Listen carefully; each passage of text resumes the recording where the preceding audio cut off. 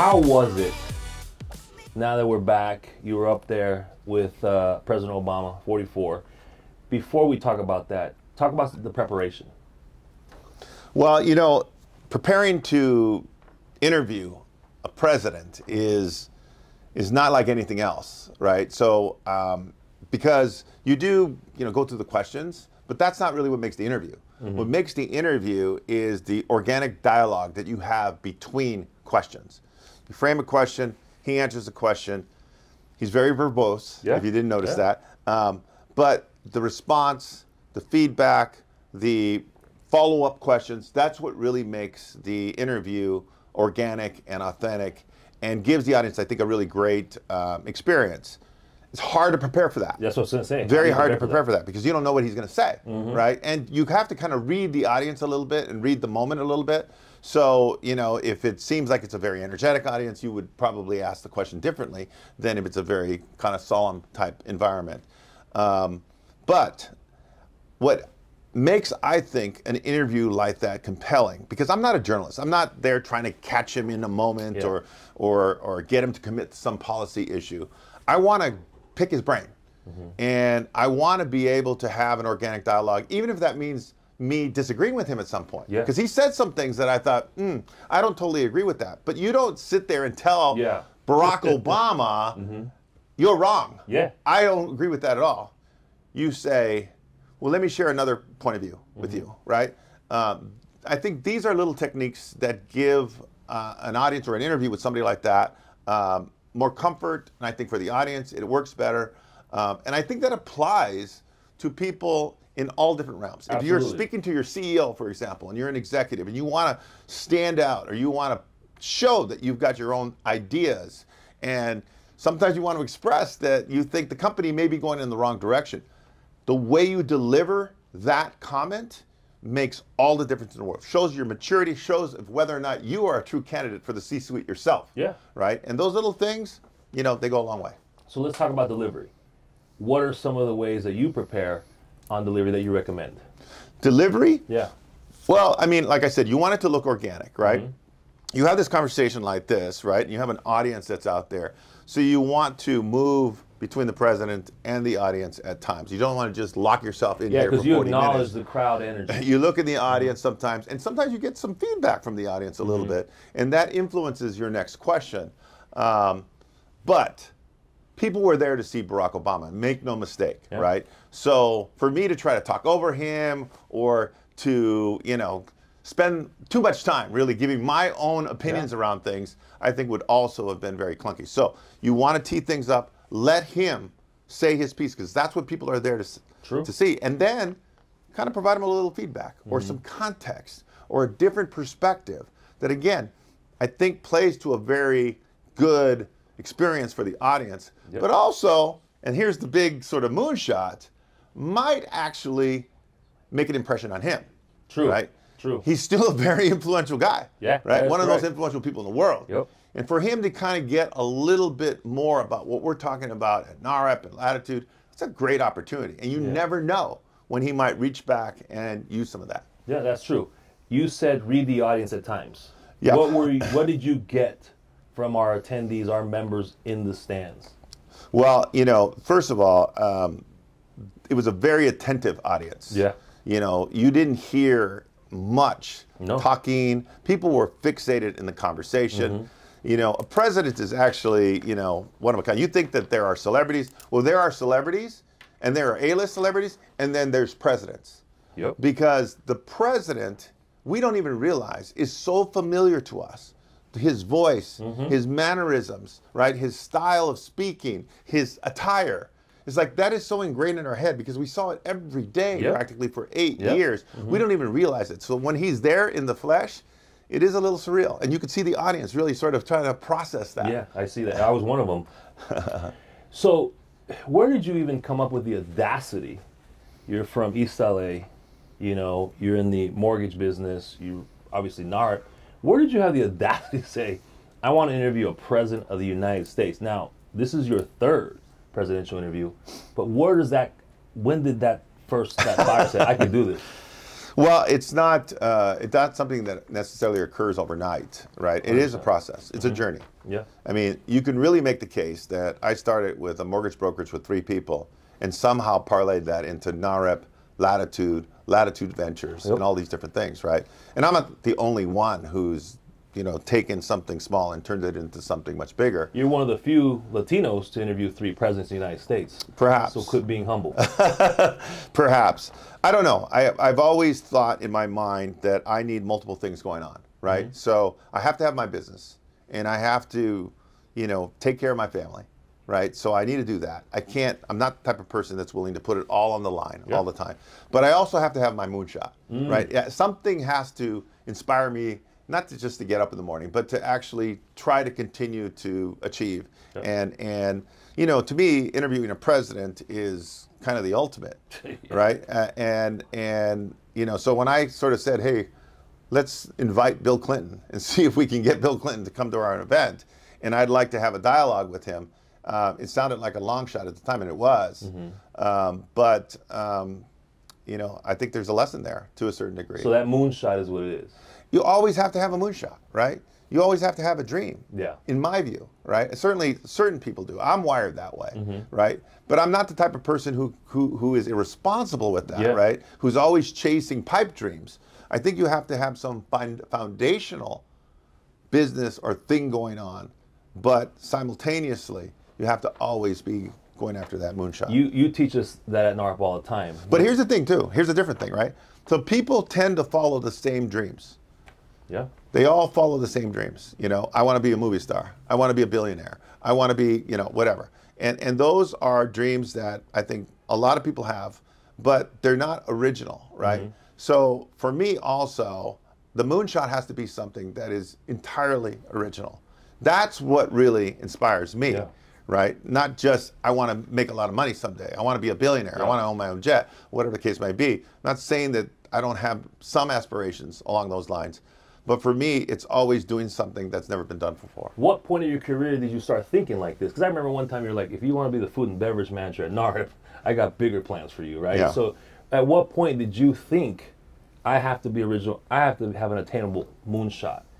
Because most people get into an industry to work.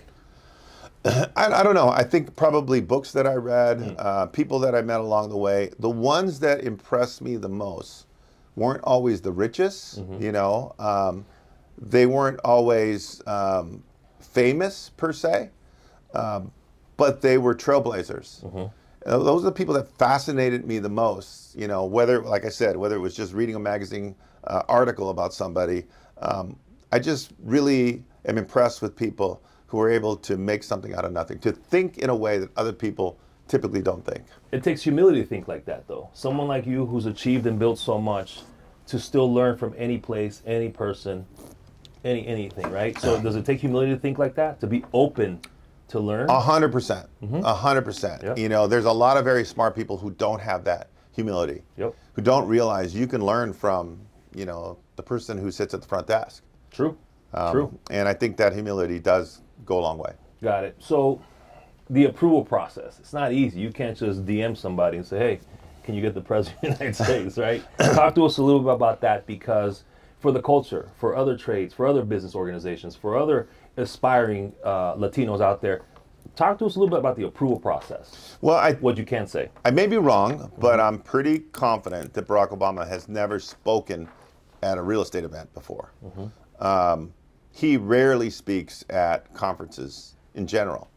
Um, he does some, you know, private speeches around the world.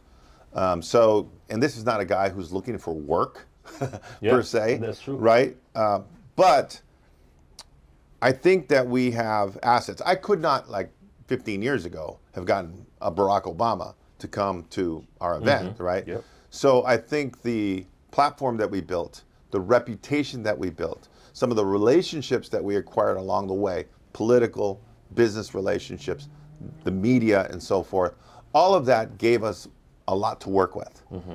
And the fact that we are a unique organization right? We are the largest Latino business organization in the United States.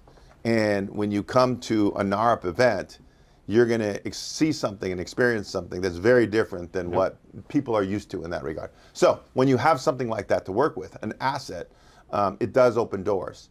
And you can't be afraid to call in favors, you know, and to ask people to do something for you, especially people who are in a high position. Yeah. So, um, you know, for whatever reason, I've never been afraid to ask people, um, you know, for help, uh, for advice, um, you know, for um, some degree of, you know, commitment. Um, and I think if you do that and you do it well and you have a real asset, you know, to to to be able to, you know, catapult you to a certain degree, I think you can do great things. Absolutely. That's the vetting process. Now let's talk. You got approved. Then it's submission of questions, right? Because you didn't want to give them an assist or give anybody an assist because it's not right. So, Yeah, I don't want to be critical here, but Mm-hmm. there is a process. You have to send in questions in advance, Uh-huh. and those questions have to be approved by his staff. I don't know how much Barack Obama's involved in that process. Maybe not at all, Mm-hmm. uh, or maybe he is. I don't know. Um, but you know, they they don't necessarily want him want to put him in an uncomfortable situation. So they want to have questions that are, I think, uh, substantial, Yeah. but not necessarily inflammatory to a certain degree. Uh, if you know what I mean, Yeah. right? They don't talk about real controversial stuff or Yeah, stuff that's potentially going to embarrass him or put him in a bad spot. Um, and so, uh, but they also try to water down the questions, Yep. you know, and they try to, uh, they suggest that you ask a lot of, you know, personal questions about, you know, are you a better golfer now than a basketball player, stuff like that. Um, I think that's fun for the audience. I think that has to be part of it, but it can't be the core of Yeah. the dialogue that you have. When you have a moment with the president, you want it to be. So the process is intensive. There's a lot of back and forth. I stood my ground on the questions around immigration, Yeah. Mm-hmm. which were originally rejected, by the way. yeah. Um, and I explained to them the context of the event and the way we go about dealing with that issue. And I thought it would be disingenuous not to mention the fact that immigration reform did not get done Yeah. during his presidency. Well, at the same time, I did acknowledge on the stage that he got DACA done, and that did impact people in a lot of different positive ways. Um, but uh, yeah, that process is is thorough, and you know everything, every element uh, involved, including who takes the photographs, including yeah. you know who introduces us to the, all of that has to be approved way in advance. absolutely. Shout out to Danny Hastings. Um, I was a little worried there for a minute. we were. Yeah. He called. He called me. He's like, "Can you text Danny?" They asked me for the. Can I? Can you send me? Is this the correct spelling of Danny Hastings? Please, please, New And I thought, shit, man, they're gonna kick him out. So you said something. You acknowledged that DACA got done, but immigration didn't get done. So that means you're not out there to just say you didn't do this and, and, and just complain. That's great that you did that. Why is it important to not do where you're playing the blame game? Well, I think that first of all, you don't want to get him on the defense in mm-hmm. a situation like that, which is why the first thing I said was I'd like to talk about immigration for a second, and I wanted to acknowledge, for the record, that DACA got done on your watch, Yep. and that it's impacted hundreds of thousands of people positively, and I want to thank you for that. And the crowd applauded, right? Yeah. So now that sort of sets the the tone a little bit, but it was never intended to be a permanent solution. And he nodded his head. Yeah. I said, We've had a lot of trouble getting immigration reform done. We didn't get it done on during your administration. In fact, we haven't gotten it done since Ronald Reagan was president in any significant way. And I think part of the problem is the fact that it's framed too frequently as a social policy issue. And we don't talk enough about the ec- economic Yep. reality that immigration reform plays for the well-being of our entire country, right? So I think framing it that way helped, even though he did squint at me a little bit when I said it didn't get done during your administration either. Um, but uh, I think it turned out to be fine. He got to say his piece. He talked a little bit about the challenges we've had with, uh, you know, Republicans, um, you know, and the way they've moved so harshly against immigration in recent years. Uh, but I think the I think it went well. I think the audience needed to hear that. You got him speaking. I've on if Latino you come to a Latino event, That's what I'm saying. Barack Obama comes to a Latino event, and immigration reform is not mentioned and not discussed. I mean, it just seems like I mean, you know, Yeah. That's a, obviously a, a major omission. Yeah, That uh, that just seems you know incomplete. You had him talking about Latino issues, even mentioning the word Latino in a different kind of conversation. you know, talks about relevance. He mentions Bad Bunny and reggaeton. You know, so are you feeling now at this point like, okay, this is you've met someone like, okay, this guy is really working the crowd. He speaks eloquently, and you're how was what was your moment when he did that? Because that was the first time you were like actually laughed out loud. There is a poem, there is a rhythm Yes. that an interview uh, that you hope happens during an interview. You know, in the beginning, it's like a boxing match, right? You're kind of feeling each other out a little Mm-hmm. bit, and then there's a rhythm that takes place when there's real chemistry up there. Yep. So the fact that he started to go down that path, that we had that really great moment talking about Manu Ginobili, Yes. and uh, you know, I got to work in the fact that I played for Gregg Popovich. Also, all of that was very organic. I think the audience may have even thought that that was scripted because it was like too perfect, right? And uh, but it just showed that we hit that rhythm, and you really want to, you know, when you feel the rhythm, when you feel the momentum, and I've said this in my blogs, I've said this many times. That's when you have to double down, right? yes. And so so when he started to loosen up and really start to have fun up there, even when we were talking, that was a serious conversation. We were talking about the misinformation out there in the media, Mm-hmm. and he started to, to to have that conversation in a in a way that was more engaging and a little bit fun. Um, that's when you know he's relaxed. Mm-hmm. That's when you know when he's having a good time up there, and then you want to double down on that, Yep. right? That And, and not let that moment go away. Exactly. You did have a differences in opinion on the Latino vote. Talk a little bit more about that. Yeah. Um, so, you know, I was talking um, about. I think it was this was coming off of the heels of the immigration conversation, and Obama said something that, you know, I think this was his his very you know classy way of pushing back on my my statement that he didn't get immigration reform done, mm-hmm. right? And and what he said was, Latinos have to get alignment around these issues Yep. 1st mm-hmm. Because if Latinos aren't aligned on issues, they are never going to rise to the top of the priority list Yep. of policymakers, essentially. I'm paraphrasing what he mm-hmm. said. But that's basically what he said. He's like, hey, it's on you too. It's not mm-hmm. just on mm-hmm. us, basically. And I responded, I think, in a way that I don't regret. But I will say that since we had that conversation, I started to reflect more on what he said, and I actually started to understand it more. What I responded eh, with is I said, you also have to give Latinos something to vote for.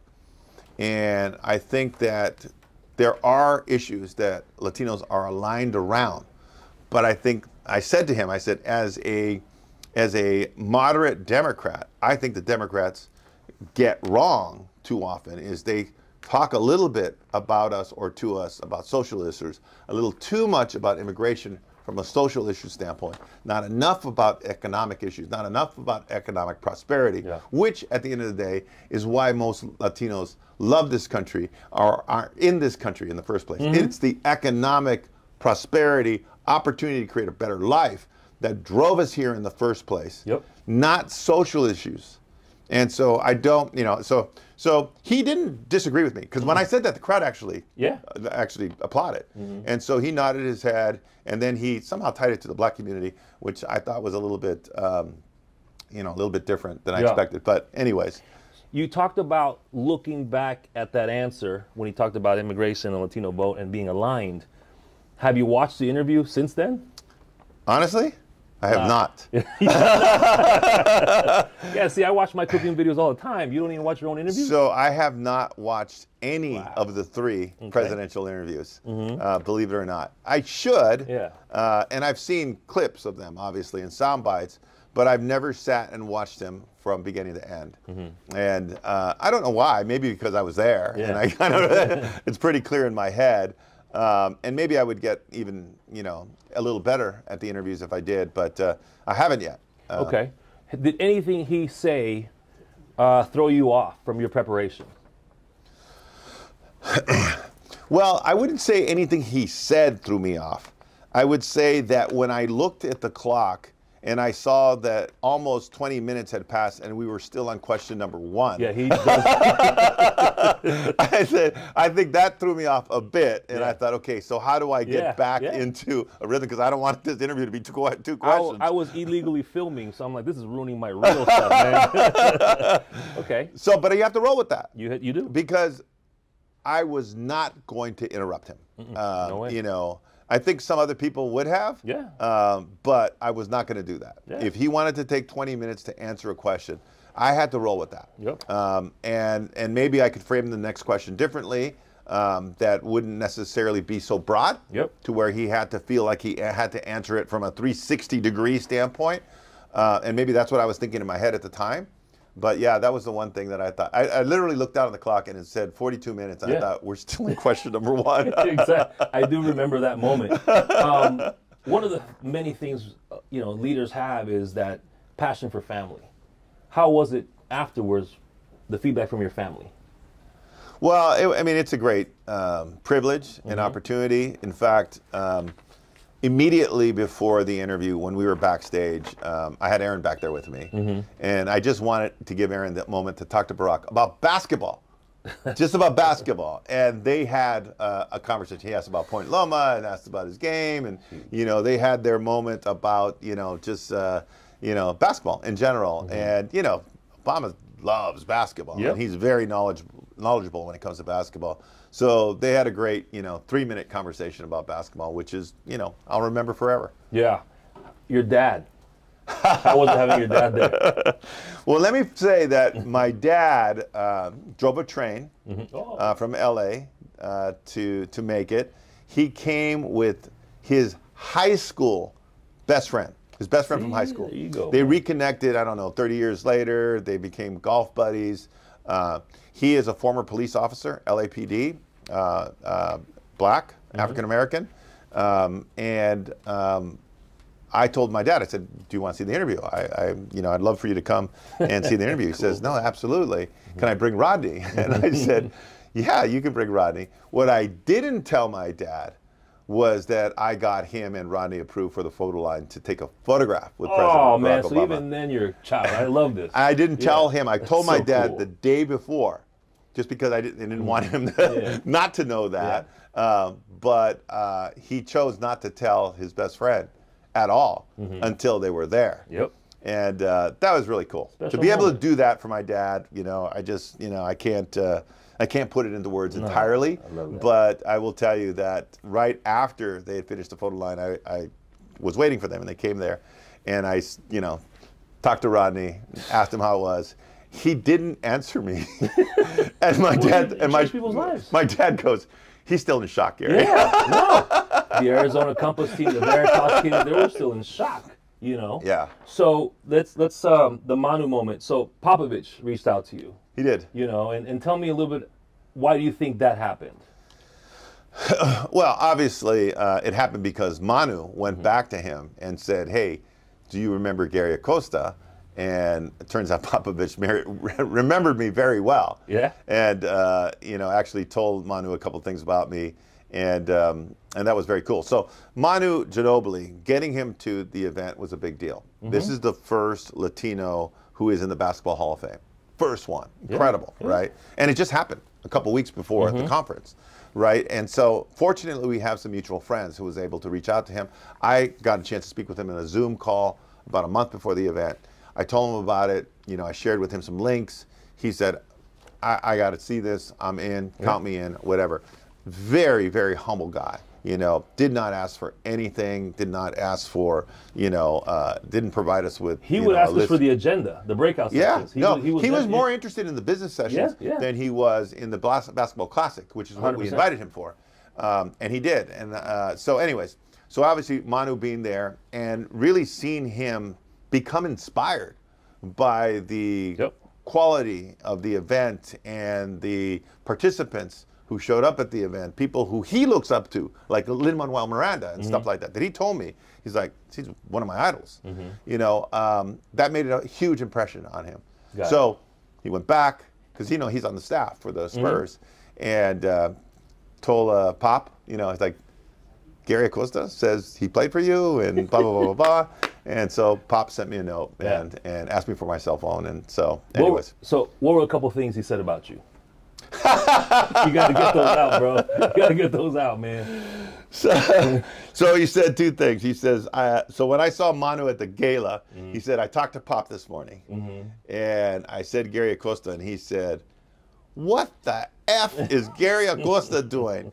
And Manu told him, and he told Manu, he says, I remember two things about Gary. He said, Number one, he spoke Spanish worse than any other Mexican I'd ever met. and secondly, he had a good jump shot. There you go, man. So, Coach Pop, Coach Pop, we look forward to seeing you at one of our events, man. It'd be an honor, Coach. Uh, let's talk some serious stuff, Gary. There was some resistance from some of our members when we announced that you were going to have President Obama. yeah. How did you handle that? Well, politics is, you know, difficult right now. You know, it's a very polarizing environment. Um, there's not the kind of, I think, intellectual debate that maybe there once was between, you know, the two parties. Um, it's all about demonization. Um, you're a bad guy. You hate America. These people are trying to destroy our country. It kind of goes both ways. And um, so, anytime you bring a political figure, especially one as significant as a former president, you're going to have people who are going to basically be put off by that. Uh, NAHREP is now leaning left, and you know this guy, you know, did his policies, you know, made the country worse, and all this kind of stuff. Um, so you look at things from a basically risk reward standpoint, Yep. right? So there is risk, and you try to manage that risk, but you look at is the reward greater than what the risk potentially poses. And I didn't just make that decision on my own. Yeah. As you know, I discussed it with our board. Yep. I got a chance to, for everybody to weigh in on that. I actually reached out to people outside of our board as well, just to get their feedback, to share with them from my point of view why it was important, but not try to um, influence them too much, because I, kind of wanted the feedback. Uh, at the end of the day, you know, the reward of having somebody like Barack Obama at the conference, you know, just greatly outweighs any risk. If you remember, you know, we had Lin Manuel Miranda, we had CEOs of Nike, we had, you know, other celebrities at the event. Five o'clock in the morning, people were lining up for the Obama interview. Yes. that was Five o'clock in the morning. There were 3,000 people in line for 1,800 seats. Yeah, I woke up to like 200 DMs. And uh, this isn't a nightclub, people. So I think that validated that we made the right choice. 100%. There's no question the reward outweighed any risks. So, third president, what does that do for NAR, the organization? I think that hopefully, hopefully, and I think it's true for the most part, I think people now view NAHREP as not just another minority real estate trade association, right? Not that there's anything wrong than that. Than, not that there's anything wrong with that, right? But as you know, we've tried to become more than that. Yep. Um, we want to be a great Latino business organization, but we also want to inspire people from a cultural standpoint. We want people to think bigger. We want people to imagine things uh, in ways that maybe they wouldn't have otherwise. We've never had anything like that within the Latino community. We've never had a platform like this where we can showcase the best and the brightest that we have in all these different sectors and give people uh, a great experience and have a great time and be able to meet Yeah. people in the foyer Yep. that they wouldn't have been able to meet otherwise. So um, I hope that people start to see NAHREP as this anomaly, as this phenomena of sorts, because I think that's exactly what we are. Yeah, no doubt. It definitely impacted everybody. I hadn't seen that, you know. Um, looking back now, rethinking everything, is there a question you wish you could have asked that you didn't? You know, um, I felt pretty good after the interview, uh, mostly because I felt I was in the moment, Yep. right? That I wasn't just speaking from a script, um, that there was real chemistry on stage, um, and that I was present, that I was listening to his answers as well, and processing those answers, and then u- utilizing those answers to provide some feedback or some commentary. So from that standpoint, I think it went about as well as it could have went. Um, I think I would have liked to have more conversations about what NAHREP is all about. Yeah. You know, um, and gotten his his feedback on that. Talk a little bit about the stuff that we do, the programs we do, the initiatives we pursue, and how that might compare to other things that he's seen in the past, and what he might have in the way of opinions around those things. I, you know, I, I wanted it to be a broader conversation and not a narrow conversation. But I do regret that I didn't get a chance to talk more about that. Yeah, it's not easy. You're dealing with the president of the United States. Yeah, right? It's not yeah. like a CEO. Um, what did you want to get out of this interview with 44? What did you want him to get out of it? So I wanted him to see um, Latinos maybe in a different light than he has in the past. And obviously, President of the United States has probably seen things that 50 lifetimes, you know, wouldn't have the opportunity to see. But I think he has in his mind what a Latino organization looks like, right? And it's probably more civil rightsy Yep. than what NAHREP and L'ATTITUDE is. Uh, maybe uh, a little bit more partisan, um, and maybe less, and I say this with all due respect, less professional. I mean, if you walk into a L'ATTITUDE event, Yeah. you see this is a world class production. 100%. Not just, you know, some cool people Yeah. on stage. It's a world class production. So I wanted him to see that because I truly believe that he has probably never seen anything like that before. Got it. And if that had an impression on him, and the next time he's in a conversation or having, uh, you know, a strategy meeting uh, about anything, and Latinos, business, the economy comes up, I hope he thinks about us. Absolutely. You've been an advocate for that for years. Remember the conversation you had with Howard Schultz, Yeah. right? You were talking that, and what was his response when you gave He him said that. He said, I've never heard it framed that way before. Exactly. And can I use that talking point? Yeah. Yeah, And I told him you could. Yeah. Can I use that talking point? I'm going to be on Barbara Walters. tonight, what he said. It's very hash. Uh, so, third presidential interview. Give me one word that describes each one. So let's start off with Clinton. Very measured. Got it. So the conversation was very, you know, it was hard to break through and really get him to relax. He was very, he's a very political guy, and he's very cognizant of his words um, and the impact that they have. So he measures those words very, very carefully. George Bush. Casual, friendly, um, very engaging, almost like he doesn't want to talk about anything serious. Wants to just go up there and have fun. He would. I would, you know, ask serious questions, but he would find a way to make every answer, you know, a little bit fun. Got it. Um, and uh, so the, almost the opposite of Clinton in that regard. 44. Very, very polished. Um, one of the few people in the world that can really, I think, talk to people in almost every quality of life, from the highest level of the geopolitical world to the most sophisticated business and science conversations, down to, and I would say down to, over to hip hop culture, entertainment, Yeah. sports, Yep. just those very subtle nuances, style, fashion, right? So when you're talking to somebody like that, you know, it's very hard to have a conversation where you feel like you're showing him something or teaching something that he doesn't already know or hasn't already seen. Very, very tough in that regard. I like that. Um, and um, but I think somehow we found a way to find a great rhythm in the conversation. So it was my favorite one of the three. Masterpiece. Give me your three favorite cities. Three favorite cities? Yeah. Uh, in the world or in the U.S. U.S. That's actually. So I'm not gonna I'm not gonna say San Diego because it's where Nah, I live, count, right? yeah. So I would say definitely New York City, um, probably Miami, Okay. and then I would say probably uh, Las Vegas, Okay. So, mostly because of the food. which which president would you like to go to NYC with? W- would it be cool to be in New York with? And what would you be eating? Not the restaurant because they haven't paid us. No, I'm just kidding. But what president would you say? Let's go to New York. You got to try this dish. Which president? Well, definitely not George W. Bush for New York City, and I don't mean that in any weird Yeah, way. yeah. I just can't picture him hanging yeah. and chilling in New York City.